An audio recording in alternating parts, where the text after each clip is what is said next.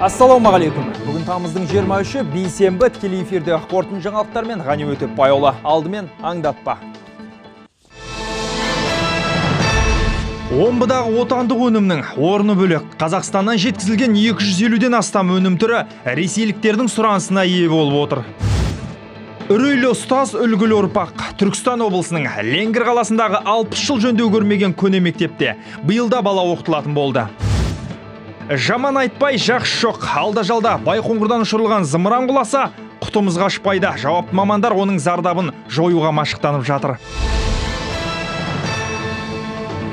Бүгін мемлекет басшысы нұрсұлтан назарбаев атырау облысына жұмыс сапарымен барды. Өңірде төрт бірдей нысанға аялдап әлеуметтік экономикалық даму мәселелері қаралған кеңеске қатысты. Тілшіміз рауан мыңбаев тарқатады.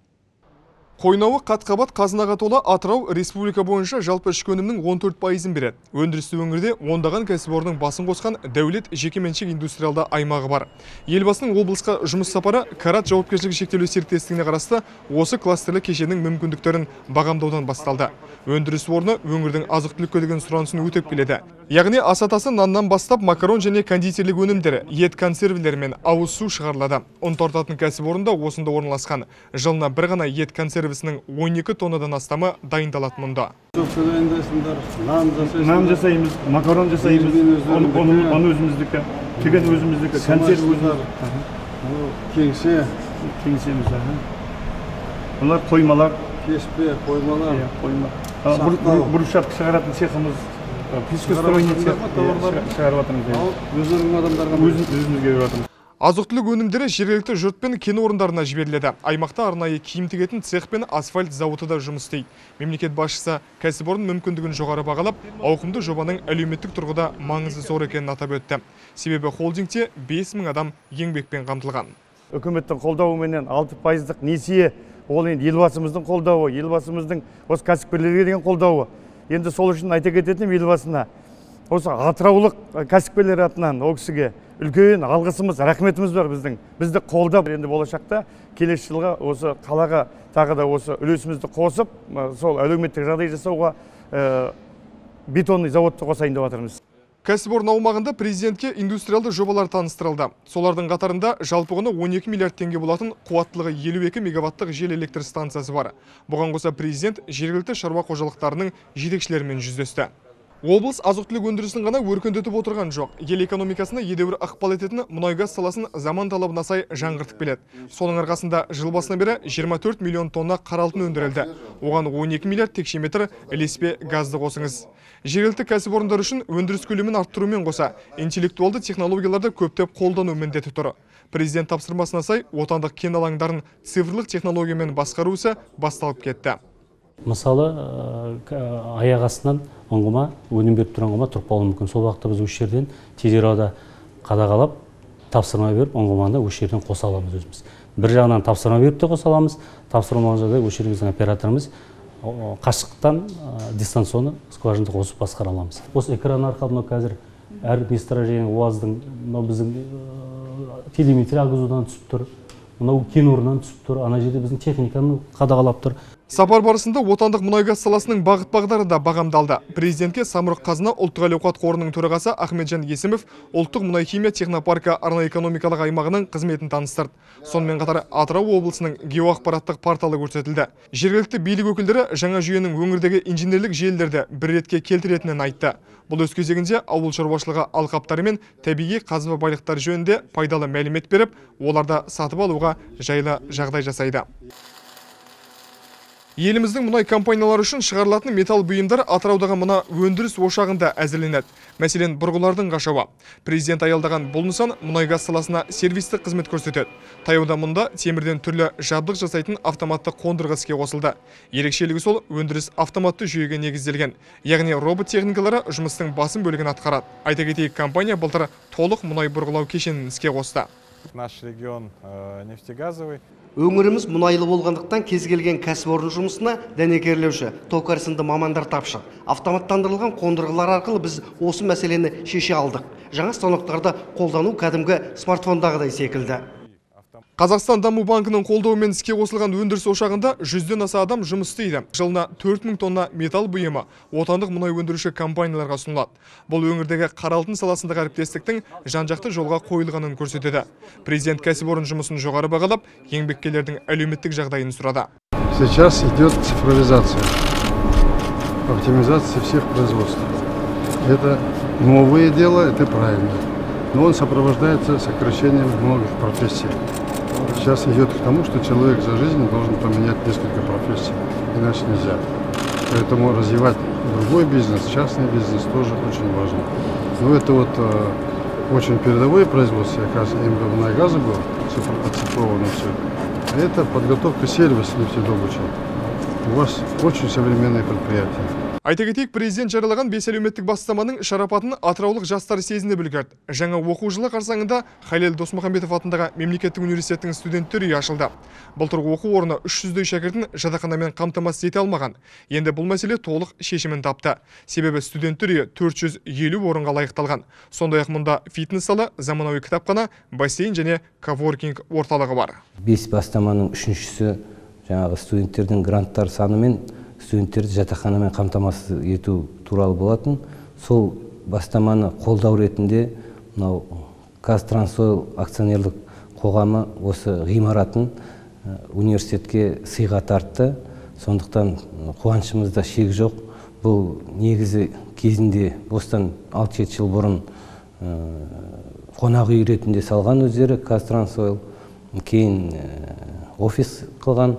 Енді қазір қайтадан жатақхана қалпына келіп ішінде тек қана қазір оның атын да жатақхана деп айту қиын себебі студенттер үйі деп атап қойдық Биыл университетте жүз жаңа оқулық жобасы аясында білім беріледі. Студенттер қазақ тіліне аударылған ғылыми еңбектерге енді кез келген уақытта қол жеткізе алады. бұрынғы жылдары мысалы біз осы әлемдегі танымал оқулықтарды ә, ағылшын тілінен орыс тіліне аударамыз орыс тілінен қазақ тіліне аударамыз. Ал қазіргі таңда үлкен осы елбасының осы мақала- мақаласының арқасында осы жүз жаңа оқулық аударылып қазақ тіліне ұсынылып отыр. Яғни біз тікелей қазақ тіліне арқылы әлемдегі үздік оқулықтарды таңдап іріктеп оқу, оқып отырмыз.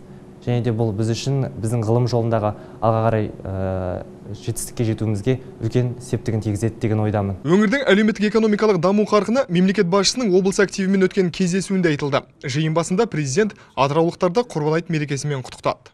Құрбан айт мерекесі бәрімізге құтты болсын. Тілеген тілектеріміз, шалған құрбандарымыз елімізге шапағатын менің қайтатын болсын. Осындай күнде сіздерге келіп қалдық. Бүгін мінекей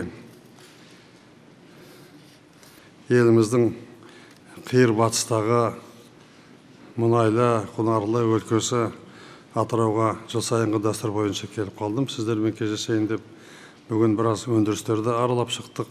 Істеп жатқан жұмыспен таныстым, студенттермен кездестім. Мен ә, қабылдаған бағдарламаның қалай жүріп жатқанын тексердім, есеп алдым. Жалпы араласып жай халықтың көңіл күйімен таныстым. Соның барлығын айтқан кезде жалпы жұмыс жүріп жатыр, бағдарламалар орындалып жатыр. Тәуелсіздік жылдары істеген шаруалар көп. Оны мен айтып жүрмін, өздеріңіз білесіздер. Қазақ деген халық бұрын соңды болмаған жетістіктерге жетті. Аймақ басшылығы жартыжылдықта жеткен жетістіктерге кеңірек тоқталды. Әсіресе облыстың өңдеу өнеркәсібі қарқынды түрде дамыған. құрылыс жұмыстарының көлемі нұрсұлтан әбішұлы алты айдың қорытындысы бойынша 87 пайызды құрап отыр өткен кезеңмен бұның себебі ірі құрылыс жұмыстары өндірістегі қашаған кен орнының атырау мұнай өңдеу зауытындағы қайта жаңғырту ктк құбырының жұмыстарының аяқталуы соның есебінен болып отыр. Біз жылдың аяғына дейін теңіз кенішін игеріп отырған компаниялардың құрылыс жұмыстары осы өзіміздің белгілеген межеге келеді деп ойымыз сеніміміз мол. Дегенмен тұрғын үй 14 пайызды көрсетіп отыр. Өндірістік құрылыста төмендеу болғанмен тұрғын үйді іске қосу салу 114 пайызды көрсетіп отыр Атыраудың денсаулық сақтау саласына келер болсақ, өңірде 141 медициналық мекеме бар. Барлығы ғаламтор желісіне қосылған. Нұрсұлтан Назарбаев өңірдің білім беру жүйесінде бағамдады. Аймақ мектептері білімді әрі білікті шәкірт тәрбиелеу қажеттігін атап өтті. Зияткерлік мектеп Назарбаев университеті қазақтың элитасын тәрбиелесін деп жасадым мен оны. Елдің барлығы ә, қабілеті жетпейді. Әркімнің ақыл ойының санасы өскені әртүрлі болады. Солай ғой. Әйтпесе барлығы қалай? Дүние жүзінде адамдардың дүниедегі екі ақ проценті жоғары білімі бар қазір. Ой- ойлап қарасаңдар. Сондықтан халық түсіну керек. Бірақ қабылдау әділ болу керек. Облыстың негізгі капиталына құйылған инвестиция көлемі 1 триллион 650 миллиард теңгеге тең. Бұл республика бойынша ең жоғары көрсеткіш. Сондықтан бұл саладағы жұмыстар жалғасын табуы тиіс. Енді аймақ туристік саланың дамуына екпін беруі қажет деді президент. Можно перечислить Южный Казахстан, Алматинские горы. Все это очень здорово, поэтому программа для молодежи «Познай свою страну» специально всем акиматам Казахстана организовать летом и зимой поездку молодежи отсюда на восток, на север, оттуда сюда, чтобы они все это знали, видели, насколько красива наша страна. Наши пус- пустыни, степи, казахстанские степи дают кислорода нашей земле больше, чем э, вечные леса э, Бразилии, чтобы вы знали. Это посчитано. Я сам тоже не знал, что степная трава, э, там пр- проходит фотосинтез лучше, чем в любых лесах, деревьях. Химики знают. сапар қорытындысы бойынша мемлекет басшысы облыста атқарылған жұмыстарға оң баға берді. Сондай ақ инвесторлармен әріптестікті жетілдіру маңызды міндет екенін атап өтті. Ноғаевтың жасап жатқан жұмысына мен оң баға беремін. Ол басқаратын әкімшіліктердің барлығы да қолынан келгенше шаруаларын жасап жатыр. Ә, қолдаңдар барлықтарың жұмысты бірге істейтін болайық. Мен әр уақытта атырау облысының отыр өмірі жағдайы әр уақытта назарымда. Мұнайлы өлке атырауда толымды тірліктер көп. Оларға мемлекет басшысы нұрсұлтан назарбаев өңірге жасаған әрбір сапарында куә болып келеді. Бұл жолда солай. Президент назарына таныстырылған нысандардың қай қайсысы да тұрақты жұмыс істеп тұр рауан мыңбаев өмірбек ізімов асхат әзіретханов хасен омарқұлов қорытынды жаңалықтар атырау облысынан. Атырау облысында өтпелі кезеңде тоқырап қалған балық шаруашылығы саласы қайта қарқын ала бастады. Ішкі нарық қана емес, бүгіндері экспортқа балық өнімдерін шығару көлемі де артты. Сонымен қатар қиғаш жайық өзендерінің теңізге құяр сағасын тазарту жұмысына қазынадан 7,5 миллиард теңге қаржы бөлініп, қазір мамандар үш ауысыммен жұмыс істеп жатыр. Оған қоса бағалы бекіре балықтарын ғылыми селекциялық жолмен өсіретін екі зауыт жыл сайын 7 миллион дана шабақты табиғи су айдынына жібереді. Қазір атырау облысында балық аулау және өңдеумен айналысатын 20 өндірістік кооператив бар. Солардың бірінде бүгін каспийдің шортаны мен көксеркесін болгария және румыния елдеріне экспорттау жүріп жатыр. Экспортталатын тауарларға әр елдің талабы әртүрлі. Сапалы балық өнімдері бұл мемлекеттерден бөлек франция германия австрия литва израиль және тмд елдеріне шығарылады. Әзірге жергілікті балықшылар 12 мемлекетке қазақстанда жасалған деген сауда белгісімен сапалы балық өнімдерін жөнелтіп отыр. Біздер күніге үш төрт тонна балық өнімдерін істеп шығарамыз. Филе жасап шығарамыз содан. Ә, филеміз ә, көксерке филеміз ә, шетелдерге франция германияларға кетеді экспортталып одан басқа жайын сазан балықтарынан филе жасап шығарамыз. Олар ішкі нарыққа. Маусым кезінде жайық каспий және қиғаш су айдындарындағы өндірістік бірлестіктерде 900 адамға дейін еңбек етеді. Ал қысқы мезгілде 300 адамға тұрақты жұмыс бар. Алдағы жылдары өндіріс көлемі де артуы мүмкін. Өйткені өзен түбін тазалау жұмыстары қарқынды жүріп жатыр. Демек теңіз сағасының көзі ашылса олдырық шашу өрісіне шығатын балық көлемі де арта түспек. Өңірде балықтың азайып кетуіне осыдан 40 жылдан бері тазаланбаған өзен табанының тым тайызданып кетуі де себеп болып отыр. Мы выбираем грунт. Біз өзен табанындағы топырақты екі жарым метр тереңдікке дейін қазамыз. Жалпы арнаның ені 40 метр болса, соның 25 метрі осы екі жарым метр тереңдік көлемінде болуы шарт. Жоспарды уақытында орындау үшін жағаға сағатына 1600 текше метр топырақ шығарамыз. Қазір қолға алынып жатқан жұмыстар балық жүретін арналардың көзін ашып уылдырық шашу өрісіне еркін өтуін қамтамасыз етеді. Сондай ақ өзендердің биологиялық ахуалын қалпына келтіріп мелиорациялық жұмыстар жүргізуге мүмкіндік береді. Сонымен қатар алдағы жылдары бекіре шабақтарын өсіретін зауыттардың өндірістік қуатын арттыру да жоспарланып отыр. Қазіргі уақытта осы зауыттарымызды қайта жаттандырудың техникалық экономикалық негіздемелері мемлекеттік сараптамадан өту үстінде. Өңірде тек дайын балықты аулау ғана емес оны қолдан өсіріп табиғи қорды толықтыруға да жете мән беріліп келеді. Каспий теңізіне жыл сайын 7 миллион дана бағалы балық шабағы жіберіледі. Сонымен қатар биылдан бастап табиғат пайдаланушылар да 700 мың данаға жуық шабақ өсіруге қаржы бөле бастады. Ал зауыттарға қайта жаңғырту жобасы жүргізілсе жылына 15 миллион дана шабақ өсіруге қол жеткізетін болады. Бекен әлирахым жандос рахметуллин қорытынды жаңалықтар атырау облысынан. Бүгін Ақордада мемлекеттік хатшы Гүлшара Әбдіхалықованың төрағалығымен шетелде кадрлар даярлау жөніндегі республикалық комиссияның кезекті отырысы өтті. Биыл болашақ бағдарламасының жұмыс істей бастағанына 25 жыл. Мемлекеттік хатшы ширек ғасырда 13 мыңға жуық стипендия бөлініп, 10 мыңнан астам білікті кадр даярланғанын атап өтті. Комиссия мүшелерінің шешіммен 128 үміткер магистратурада, докторантурада оқып, әлемнің жетекші ғылыми және өндірістік орталықтарында тағылымдамадан өтуге жіберілетін болды. Жаңа оқу жылына санаулы күндер қалғанда білім беру саласындағы жаңа міндеттерді айқындау дәстүрге айналған педагог қызметкерлердің тамыз конференциясы алдымен республикалық деңгейде өтсе, іле шала қалаларда да ұйымдастырып, алдағы басым бағыттарды пысықтауда. Астана қаласы бойынша биыл 155 мың оқушы білім алмақ. Жаңа 5 мектеп пайдалануға беріледі. Қала әкімдігі мемлекеттік жекеменшік әріптестігі арқылы білім беру нысандарын көбейту ниетте. Елордалық тамыз конференциясы жайлы әрі қарай тілшіміз сабақтайды. Астанадағы экспо ғимаратының конгресс орталығында өтіп жатқан педагогика қызметкерлерінің тамыз конференциясына қаладағы барша ұстаздар қауымы, қала әкімі, білім ғылым вице-министр және мәслихат депутаттары қатысуда. Дәстүрлі шараның ә, тақырыбы төртінші өнеркәсіптік революция жағдайындағы адами капитал білім беруге арналған шешімдер деп аталады. Жалпы осы саладағы соңғы жетістіктер қандай? Жаңа оқу жылына жүктелетін міндеттер қайсы оны қала әкімі таныстырды. Өткен уақыт ішінде елордамызда 43 мектеп салынды. 300-ден аса мектепке денге үйім, 29 колледж, жаңа оқушылар сарайы және басқа да білім нысандары ашылды. Білім саласында бір шама күрделі өзгерістер өтуде. Бұл әрине адамдардың өмірі, әлеуметтік жағдайының жақсаруына байланысты. Биыл жаңа оқу жылында елордада 155 мың оқушы білім алады. Жалпы бұл сан жыл санап артып келеді, неге десеңіз қалаға қоныс аударушылар өте көп. Есеп бойынша алдағы 5 жылда тағы 120 мың оқушы келіп қосылады деген болжам бар. Сондықтан қала әкімдігі 2023 жылға дейін 24 мектеп салуды жоспарлап отыр. Ал биыл 5 мектеп пайдалануға береді. Сондай-ақ ұстаздар қауымының саны да артып келеді. 20 жылда ол 5 есеге өскен басында 98 жылы 3 мың мұғалім болса қазір 15 мың мұғалімге артқан.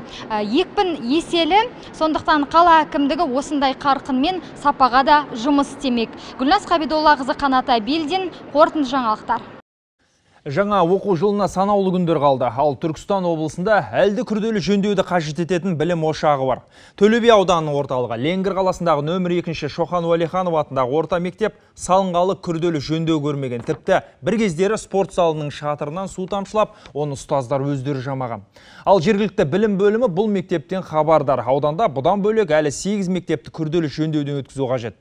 Меншікті тілшіміз Нұрбек Байбосынның бейне материалы.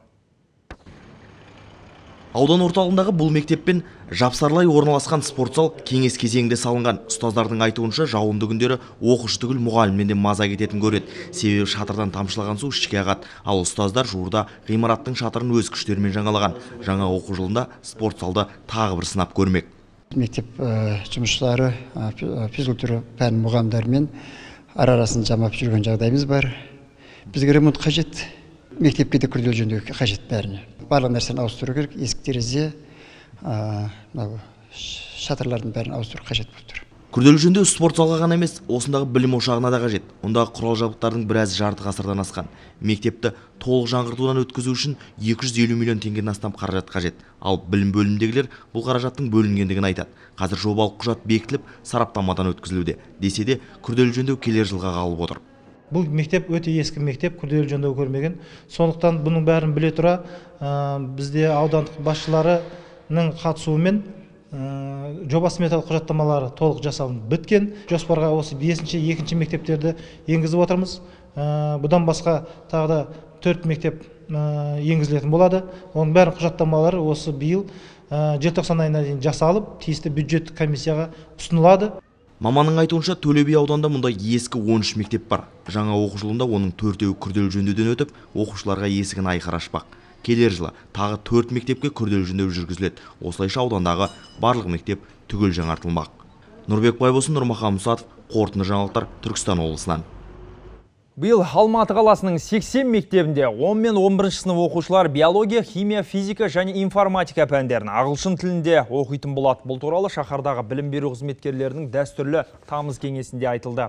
Аталған жоба пилоттық режимде былтыр қолға алынып, 27 мектеп 4 пәнді ағылшын тілінде үйретуді бастап кеткен еді.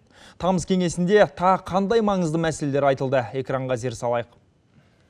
Тамыз кеңесі жылдағы дәстүрге сай республика сарайында өтті. Жақсылап тынығып қайтқан ұстаздардың көңіл күйінен сүйікті кәсібіне деген сағыныш байқалады. Алда тоғыз ай қажырлы еңбек күтіп тұр. Өткен оқу жылындағы жетістік аз емес оған лайықты қаржылай қолдау да септігін тигізген. Қалада білім алуға қажетті жағдайдың барлығы жасалуда. Соңғы 5 жылда білім саласын қаржыландыру 27 миллиард теңгеге немесе 37 пайызға өсті. Биылғы бюджет 72,5 миллиард теңгеге жетті. Біз жыл сайын білім инфрақұрылымын дамытуға да ерекше көңіл бөліп келеміз. Биыл жаңа мектеп құрылысы мен күрделі жөндеуге 17 миллиард теңгеден астам қаржы бөлінді. Жаңа оқу жылында наурызбай ауданында 1200 орындық мектеп гимназия ашылады. Білім ошағында ерекше балалардың білім алуына да барлық жағдай жасалған. Тамыз кеңесінде мектеп пен ата ана арасындағы қарым қатынасты күшейту мәселесі де баса айтылды. Ата ана мен мектеп әрқашан тығыз байланыста болып бірлесе әрекет етуі тиіс. Баланың 6-7 сағат уақыты ғана мектепте ал қалған уақытын үйінде отбасына отбасында өткізеді. Баланың болашағына толғанар ой, ойланар отбасы болса оның бойына ата бабамыздан келген құндылықтарды дарытып өсірсе әлбетте еліміздің болашағы зор болмақ. Алматы қаласындағы білім саласының дамуына тамыз кеңесіне қатысқан депутаттар да оң бағасын берді. Жаңа мектептер ашылып уақыт талабына сай жаңа технологиялық инновациялық әдістер енгізіліп білім беруде жаңа бағыттар анықталып электронды оқыту жүйесі енгізілуде. Тамыз кеңесінде алматы әкімі қаланың болашақ дамуына да тоқталып өтті. Алматы аймақтық магнит іспеттес өмір сүруге бизнес ашып білім алуға қолайлы қала. Сол себепті халық саны артып бала туу көрсеткіші өсіп отыр. Оған дәлел республика бойынша беріліп жатқан баспананың 48 пайыздан астамы алматының еншісінде. Елбасының жеті жиырма жиырма бес бағдарламасы аясында пайдалануға берілетін үйлердің елу процентке жуығы алматыда салынып жатыр. Тек соңғы үш жылда инвесторлардың қаржысына жетпіс бір балабақша салынады. В рамках пяти елбасының бес әлеуметтік бастамасы бойынша университет пен колледж студенттерін жатақханамен қамтамасыз ету мәселесі де шешілуде. Былтыр екі мың орындық төрт жатақхана салынған. Ал алдағы үш жылда тағы отыз жеті жатақхана бой көтереді. Қазір жетеуінің құрылысы жүріп жатыр. Оның төртеуі осы жылдың соңына дейін беріледі. Адам санасының өзгеруіне алған білімімен қатар қоршаған ортасы да ықпал етеді. Соңғы жылдары алматыда қала адамдар үшін деген қағида салтанат құрып тұр. Тұрғындардың жүріп тұруына демалуына қолайлы жағдай жасалуда. Қоғамдық көлік қызметі де жөнге келтіріліп жатыр. Орталық аудандармен қатар қалаға кейін қосылған алатау және наурызбай аудандарында да модернизациялау жұмыстары жүргізілуде. Қала үлкен автотұраққа айналып кеткен. Соңғы 20 жылда халықтың жағдайы артып көлік саны он есеге өсті. Бір жағынан жақсы әрине. Бірақ екінші жағынан көліктер адамдарды жайлы орнынан ығыстырып жіберді. Таза ауамызды ұрлап алды. Бүгін біз бұл жағдайды жүйелі түрде өзгертіп жатырмыз. Алматы келбетін өзгертуде шет мемлекеттерде кездесетін мәдени интервенция тәжірибесі де қолданылып отыр. Мысалы қаланың әр бөлігінде 16 арт нысан қойылған. Соның бірі алматы тиіні. Қала әкімі бауыржан байбек жобаға жұмсалған қаржы әлдеқашан өтелгенін айтты. Тиін туралы әлемнің беделді телеарналары мен басылымдарында сөз қозғалып туристердің алматыға деген қызығушылығы арта түскен. Туризм демекші көкжайлау жобасының да әлеуеті мол. Тұрғындардың тілектерін ескере отырып жасалған жобаның жаңа нұсқасы табиғатқа зиян келтірмейді дегенмен қала әкімі бұл жөнінде әлі де қоғамдық тыңдаулар болатынын және алматылықтар қолдау білдірмесе жобадан бас тартатынын да жеткізді. Ұлан нарынбек кенже қорытынды жаңалықтар алматыдан. Өзге де тақырыптар. Қазақстанда кәсіпорындардың сандық жүйеге көшіретін орталықтар ашылады. Бұл туралы Астанада өткен бірқатар министрліктер мен бизнес өкілдері бас қосқан жиында айтылды. Сондай қолайлы бизнес ортаны қалыптастыру, инфрақұрылымға қол жетімділік, несие беру мен кадр даярлау мәселесі талқыланды. Бәсекеге қабілетті бизнесті дамыту үшін 2021 жылға дейін ел аумағында шетелдік банк филиалдарын ашу. Израиль, Мысыр, Сингапур және Сербия елдерімен еркін сауда туралы шарт жасасу. Экспортқа шығаратын дайын өнім өндіретін зауыт пен кәсіпорындарды салу көзделіп отыр. были проведены бизнестегі бәсекеге қабілеттілікті арттыруда заңнамаларға ауқымды өзгерістер енгізіп қана қоймай қаржылық қолдауда өзгерістер күтудеміз. еліміздегі жол құрылысы әуе теңіз инфрақұрылымын қалыптастыратын жобаларға кәсіпкерлерді тарту маңызды болып отыр. Бүгінгі күні қазақстандық өнімдер Ресей нарығында өз орын тапты. Бағасы тұрақты, ал сапасы бәсекеге қабілетті келетін тауарларға жергілікті халық тарапынан қызығушылығы артқан. Мәселен, былтырдан бері Омбыда қазақстандық тауарлар дүкені жұмыс істеп тұр. Бұл әсіресе шекаралық аймақтардың әріптестігін нығайтып, сауда айналымын арттыруға мүмкіндік беріп отыр. Самат Қайырденұлы сабақтасын. Здравствуйте. Ну, как обычно, моя хорошая, чай и сметана. Александр Тришкин семейден Омбыға осыдан 40 жыл бұрын көшіп келген Ресейде тұрса да әркез қазақстандық өнімді сатып алады. Өйткені сапасы жергілікті тауарларға қарағанда әлде қайда жоғары дейді зейнеткер. Своих производителей. Қазақстандық өнімді қолдаймыз. Себебі басқалармен салыстырғанда дәмі ерекше, еш қоспасыз. Оның үстіне дүкен үйімнің қасында. Көбіне сүт және ет өнімдерін аламын. Қымыз, шұжық, қаймақ бәр осында. Қазақстанда жасалған атауымен іске қосылған дүкендер желісінде бүгінде 20-дан астам компанияның мыңға жуық тауар түрі қойылған. Тұтынушылар тарапынан ұлттық өнімдерге деген сұраныс жоғары, ал тауарлар Еуразиялық экономикалық одақтың талаптарына толық жауап береді берут в основном у нас көбіне құрт қоспа сүрет сынды қазақтың ұлттық өнімдерін сатып алады. Өйткені омбыда мұндай экологиялық таза өнімдер көп жерде саудалана қоймайды. Әзірге төрт дүкеніміз бар. Бұл аздық етіп отыр. Айта кету қажет омбыдағы дүкендер желісі өткен жылы іске қосылды. Алдағы уақытта тағы сегізін ашу үшін арнайы келіссөздер жүргізіліп жатыр. Бүгінгі күні екі елдің барыс келісі алыс берісі келісіп ақ тұр. Мәселен үстіміздегі жылдың алғашқы тоқсанында солтүстік қазақстан облысы мен ресей арасындағы тауар айналым 25 миллиард теңгеден асып жығылған. Оның үстіне еліміздің солтүстігінде ресейлік капиталдың қатысуымен 200-ден астам ірілі ұсақты кәсіпкерлік нысаны жұмыс істеп тұр. Алдағы уақытта бұл көрсеткіш тағы да артады деген сенім мол. Өйткені биыл петропавлда Ресей мен Қазақстан ынтымақтастығының 15-ші аймағаралық форумы өтеді деп жоспарланып отыр. Самат Қайырденұлы, Руслан Әлиев, қорытынды жаңалықтар, Ресей, Омба. Нұр Отан партиясы алдағы уақытта жастарға арналған жобалар мен бағдарламаларды одан әрі көбейте түседі. Бұл туралы Ақмола облысындағы республикалық жастар білім лагерінде партия төрағасының бірінші орынбасары Мәулен Әшімбаев мәлімдеді. Әсіресе ақпараттық технологиялар саласындағы жобаларға басымдық берілмек. Білім лагеріне жас кәсіпкерлер, Қазақстандық жүз жаңа есім жобасының жеңімпаздары, жас көшбасшылар мен ғалымдар келді. Жиында Мәулен Әшімбаев Нұр партиясы жүзеге асырған жобаларды таныстырды. Жастарда өз ұсыныстарын білдірді бүгінгі күні біздің партиямыз жиырмадан астам жобалар жүзеге асырып жатыр. Сол жобалардың енді біразы жастарды қолдауға жастарға бір мүмкіндіктер ашуға арналған. Бүгінгі күні енді жүзден астам IT біздің сыныбымыз жұмыс істеп жатыр енді. Бұйырса алдағы уақытта енді мың сыныпқа дейін алдағы жылдары мың сыныпқа дейін жеткізетін боламыз. Сонымен қатар бүгінгі күні партиямыз шағын және орта бизнесті де қолдауға үлкен көңіл бөліп отыр. Енді шағын және орта бизнесте көп жастар бар екенін білеміз. Қарағанды қаласының қақ ортасына протон зымыран тасығышының сынақтары құлап, улы заттар жерге төгілді. Бірақ қырағы мамандар қауіпті аймақты санаулы минутта қоршауға алып, зиянды қалдықтарды дереу залалсыздандырды. Бүгін дәл осындай тактикалық оқу жаттығу кенді өңірдің 9 бірдей аудан қаласында өтті. Осылайша авариялық құтқару қызметі тосын жағдайға тас түйін әзір екендіктерін көрсетті. Ардақ Асылханұлы осы өңірден.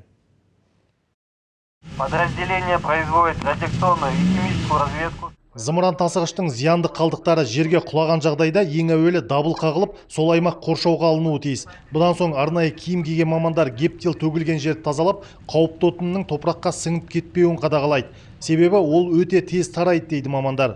Протон зымыран тасығышы құлаған жерді бірден залалсыздандырмаса қоршаған ортаға едәуір зиян келтіруі мүмкін. Сондықтан құтқарушылар қауіпті аймаққа дәл осылай су және көбік шашады. Төтенше жағдай қызметінің мәліметінше байқоңыр ғарыш айлағынан әр жыл сайын 20-дан астам әуе кемесі ұшырылады екен. Өкінішке орай оларды көкке көтеретін протон зымыран тасығышы кейде апатқа ұшырап жатады. Мұндай жағдайда аса улы зат гептилдің төгілу қаупі бар. Өте қатты зияны бар. Өйткені жаңағындай гептил дейміз ол ана жерге сіңу бойынша өте қауіпті. Бір күннің ішінде бір метр бір жарым метрге сіңіп кетуі мүмкін. Сондықтан тез оны барып жаңағындай сумен жаңағы басқа растворлармен оны араластырып тезірек ұстап қалсақ ол жерге зиянын аса келтіре алмайды оқу жаттығу жиынында апаттық құтқару қызметінің кәнігі мамандары әбжіл қимылдап төтенше жағдайға тас түйін әзір екендіктерін көрсетті. Себебі апат айтып келмейді. Айталық тек соңғы 25 жылда қарағанды облысының төңірегіне зымыран тасығыштың улы сынақтары алты рет құлаған. Ардақ асылханұлы василий сапкин әсет асайынов қорытынды жаңалықтар қарағанды облысынан. Нұрлы жол бағдарламасы аясында биыл 4200 шақырым жолды қамтыған 23 жоба жүзеге асырылуда. Жыл соңына қарай оның 528 шақырымда қозғалысы ашылады. Бұл туралы Қазавтожол мекемесінің мамандары мәлімдеді. Аталмыш мақсатқа республикалық және жергілікті бюджеттен қосымша 60 миллиард теңге бөлінген. Ал өткен 2 жылда 1800 шақырым автожол салынып, кей бөліктері қайта қалыпқа келтіріліпті. Сондай ақ жол бойында қызмет көрсету нысандарын дамыту қолға алынды. Енді жаңа мобильді қосымшалардың көмегімен қажетті ақпарат алуға болады. Данное приложение вкратце расскажу. Ол қосымша көмегімен сіз жолға шыққан бағытыңыздың қай бөлігінде тамақтану орындардың бар екендігін біле аласыз. Мәселен, түскі асқа алдын ала тапсырыс беруге де болады. Егер көлігіңіз сынып қалса, эвакуатор шақырту мүмкіндігі де қарастырылған. Мұның бәрі ұлттық стандарт бойынша жасалған қызмет түрлері. Қостанай облысы Жетіқара қаласының коммуналшылары жасыл технология игілігін игере бастайды. Жылу энергетикалық компания қызметкерлері бұл бағытта 45 миллион теңгенің үш жобасын қатар жүзеге асыруды жоспарлап отыр. Атап айтсақ, кәріз және су тазарту жабдықтарын күн батареяларын орнатып, ішкі және сыртқы жарықтандырудың бір жүйеге келтіру. Мамандар суды да баламалы энергия көзімен қыздыруды қолға алмақ сонымен бірге кәсіпорын жасыл технологиялар арқылы жылу шығынын үнемдеуге көшеді. Ол үшін жылу сорғылары орнатылады. Қазір біз бұл жобаларды қаржыландыратын кәсіпорын немесе ұйымды іздеп жатырмыз. Егер аталған үш бағытты жүзеге асырсақ, электр және жылу энергиясын үнемдеп, оны тиімді пайдалана аламыз. Алексей Луценко Индонезияда өтіп жатқан Азия ойындарының чемпионы атанды. Қазақстандық велоспортшы 150 шақырымдық топтық жарыста жеңіске жетті. Алт медаль егері фото бақылауда анықталды. Луценко жапониялық Беппу мен Тай елі өкілінің алдын орады. Қазақстандық велошабандоз 4 жыл бұрын Инчхон ойындарында да топ жарған болатын. Қазақстан құрамасы құрлықтағы кешенді сында екінші алтынына қол жеткізді. Біздің спортшылардың еншісінде 6 күміс пен 15 қола да бар. Жаңалықтар легін арнамыздың сайтынан да көре аласыздар. Ақпараттар ағымында хабармен бірге олай қағайын.